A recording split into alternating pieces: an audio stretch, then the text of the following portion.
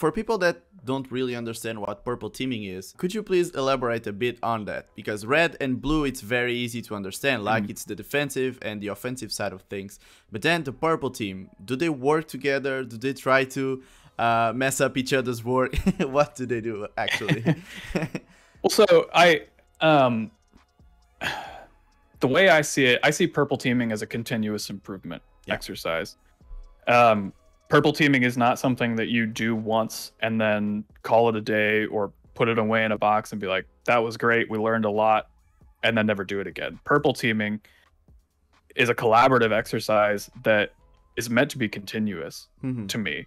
So I think that understanding um, understanding how various threats, attack chains that come from the real world can apply to a particular environment, I think that's important. And I think understanding it at a deeper level, deeper than just, um, hey, you have Eternal Blue on your domain controller. Yeah. You should patch that, right? Just patch it. Install the patch. Um, that will help a lot. It's it's more granular. It's understanding what threat actors are actually doing step by step. That's mm-hmm.